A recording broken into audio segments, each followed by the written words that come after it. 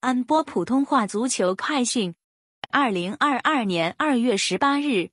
纽卡素喷射机无惧墨尔本城。本周五下午，澳职联上演独角戏，由墨尔本城主场迎战纽卡素喷射机。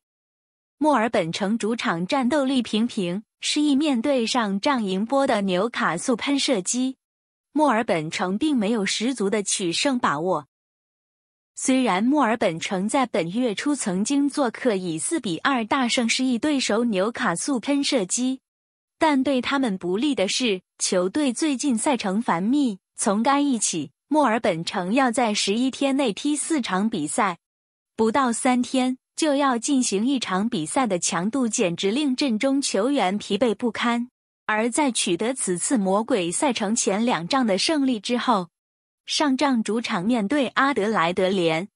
墨尔本城最终惨遭对手逆转，体力不支的恶果开始显现。今仗再战比自己多几天休息时间的纽卡素喷射机，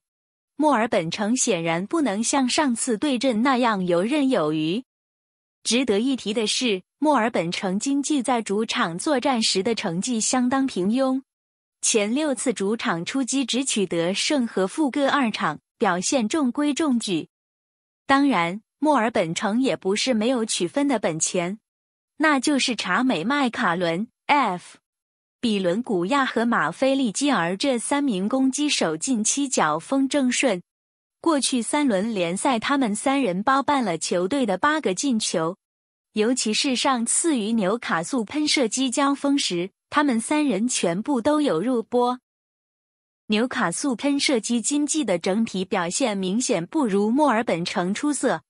他们前九轮联赛的战绩仅为三胜二和四负，排在积分榜的中下游位置。不过，纽卡素喷射机也有亮点可言，那就是前锋米基尔达特斯状态神勇。这位顶在最前面的单箭头经济已为球队贡献七个联赛入波，目前高居神射手榜次席。只比金帐对手墨尔本城阵中的查美麦卡伦少一个进球，示意两人的直接对话也吸引了众多球迷的关注。另外，纽卡素喷射机状态有所上升，上仗二比一逆转击败墨尔本胜利后，